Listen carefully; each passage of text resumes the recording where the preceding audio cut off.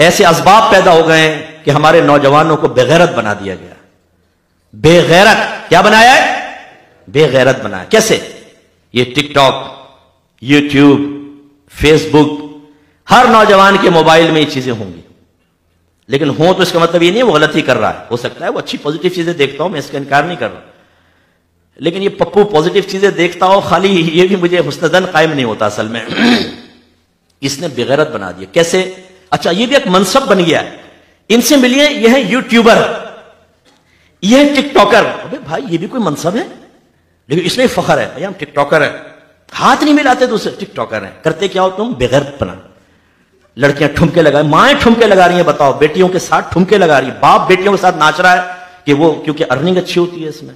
Following बढ़ जाती है, पैसा आता है। इसका मतलब ये है, मैं ये जुमले कह रहा हूँ, अल्लाह मुझे मुआफ फरमाए। बहुत सख्त जुमले हैं।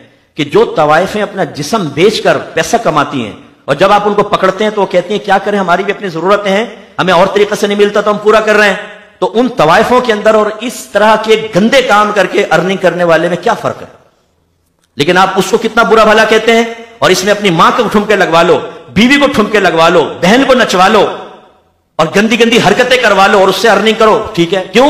हम टिकटॉकर, यूट्यूबर ओ भाई यूट्यूबर तुम्हें पता चलेगा मैदान माशर में।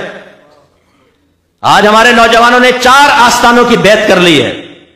गूगल, यूट्यूब, फेसबुक, टिकटॉक, चारों पीर, ये मुरीद है। रोज आने से पीर के आस्थाने पे पहुँचते ना, इनके वो पहुँचेंगे। बहुत से ऐसे बैठे होंगे, खाना छोड़ दिया होगा शायद किसी टाइम में, लेकिन इन चार आस्थानों पे हाजिरी नहीं छूटेगी। ऐसा ही हमारे रगों के अंदर रचा बसा दिया है। कि हमारे नौजवान समझते हैं कि आज अगर गए नहीं आस्थाने पे तो कुछ खाली खाली है अंदर। तो सोते सोते भी टेढ़ी आँख से एक ठुमका देख ही लेता है कल्टी हो जाता है कि चलो ये ज़्यादा ये हाजिरी तो लग जाए कम अज कम। जितनी बुरी बात है कि पीर साहब वेट कर रहे हैं और फकीर वैसे सो जाए। इस साजिश को समझिए। अगर हमारे अल्लाह के खिलाफ बोले, हम जोश में आते हैं। कोई नबी के खिलाफ बोले, हम जोश में आ जाते हैं। साहबा को गालियाँ बके आले बैत अतार की शान में गुस्ताखी करें, हम जबान खेचने के लिए तैयार होते हैं। उन लोगों ने समझ लिया, ये काम मत करो। अगेंस्ट ना लाओ। क्यों काबिल नफरत बने? इनके दरमियान ये चीज़ें आम करके इनको बेगैरत बना दो। इतना बेगैरत बना दो कि इनको अगर दीनदार ये कहे कि तुम ये गलत कर रहे हो तो ये दीनदार को गालियाँ बके, हमारी गुलामी से बाहर ना निकले। और नौजवान वो कर रहे हैं। नौजवान वो कर रहे हैं। मना करके बताओ जरा, अपने बच्चों से लेके देखें आप मोबाइल। चेक करें अपने बच्चों के मोबाइल। उनकी हिस्ट्री के अंदर जाएँ, जो उन्होंने डाउनलोड करके या उन्होंने जो वीडियोस देखी हिस्ट्री में है तो जाकर देखें। कौन कौन से ठुमके देखें टेढ़ी आँखों के साथ। पहले कोई जाता था ना, पकड़ा जाता था तवाइफ खाने में जा रहा है तू कहाँ यहाँ पे आया हुआ है? अब माँ बाप वहाँ बैठे हुए ये ये बैठा है सोफे में जैसे तो बड़े शरई मसाइल फिकई मसाइल देख रहा है ना? वो असल में होता है, यूँ यूँ देख रहा है? चल रहा है साहब, डांस, लड़कियाँ।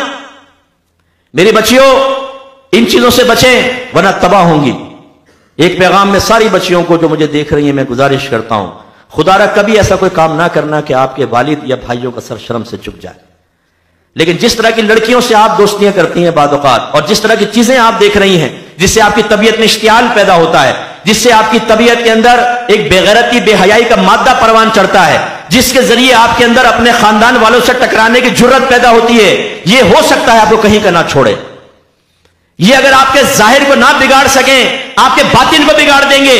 कितनी खातन ने मुझे कहा कि मुफ्ती साहब यूट्यूब पर, ये फेसबुक पर लड़कों से दोस्ती हो गई। अब मेरी शादी हो गई है, लेकिन लड़कों का तस्वर जहन से नहीं जाता है। मैं बजाय शौर से बात कर रही होती हूँ जहन वही है। ऐसे हमने बाद नौजवानों को समझाया कि बेटा ऐसा ना करो दोस्तों शादी होगी ना, सब छोड़ दूँगा। भाई तो इतना पप्पू कैसे बन जाएगा भाई? अभी तो शैतान का गुलाम बना हुआ है। इसके बाद शैतान को छुरी से जिबा कर देगा, बगैर बिस्मिल्लाह के। कैसे? कहाँ से वो हिम्मत आ जाएगी? जब पौधा हो, आराम से टूट जाता है, दरख्त बन जाए तो कुल्हाड़े से भी नहीं कटता है। फिर नतीजा क्या निकलता है? शादी हो गई, बीवी पसंद नहीं आई, क्योंकि अरेंज मैरिजेस होती हैं अक्सर। अब वो बीवी बेचारी घर में वेट कर रही है। ये निकला हुआ आवारागढ़ दोस्तों के पास। घर में आ गए। बीवी कह रही, जी, सुने। बोलो, जल्दी बोल। क्योंकि यहाँ ठुमका, यहाँ बीवी, यहाँ प्याज और लसन की बातें, यहाँ पर ठुमके की बातें। बाल बिखेरे हुए हैं, साहब लेंसेज लगाए हुए औरतों ने, नौजवान के दिल का सामान। बीवी का हक अदा नहीं कर रहा, इनमें लग गया है। फेसबुक के ऊपर दोस्तियाँ कर रखी है, टीना लीना से। अच्छा खुद भी फेक आईडी बना लेता है बाद ऐसे से मुझे मिले लड़के। नाम है मोहम्मद अकरम और आईडी बनाई हुई है जुलेखा के नाम से। और वो सामने वाले को पागल बना रहा है, मैं आज काम कर रही थी, तुम कहाँ थे? आवाज़ से आवाज़ से अच्छा ये पता नहीं कि जो सामने टीना बैठी है, वो भी चरागदीन है। वो भी फ्राडिया होता है। दोनों ये कर रहे हैं। इसी तरह मेरे बच्चों, ये प्रैंक जो है, ये प्रैंक मत देखा करो। ये भी आजकल चल गया है साहब, किसी की माँ बहन कर दो आप, उसकी दिल आजारियाँ करो, उसको जलील कर दो, लड़कियों के साथ गंदे छिचोरे, जुमले आप बोलो, और उसके बाद आखिर में, मैं तो वो बना रहा था, हाथ हिला दे जरा। और वो डाल देते हैं, किसी की बहन, किसी की बेटी के साथ तुमने इतना गंदा किया, खराब काम किया, शक्लों को आपने बुरा कहा, तेरी शक्ल तो चुड़ैल की तरह है, तेरी शक्ल तो कुत्ते की तरह है, इस तरह की बातें करके तुमने लोगों को छिचोरे तरीके से हंसाने की कोशिश की, क्योंकि तुम्हें अर्निंग हो रही है। और इसकी फॉलोइंग कौन बढ़ा रहा है? स्क्राइबर्स कौन है? ये नौजवान है स्क्राइबर हम हैं ना तुम्हारे लिए। कर बेगैरती। हम तुम्हारी बेगैरती में साथ देंगे। हालाँकि अल्लाह ने फरमाया वह तकवा वाला नेकी और भलाई के कामों में एक दूसरे के साथ ताउन करो। बुराई और गुनाह के कामों में ताउन ना करो और हम कर रहे होते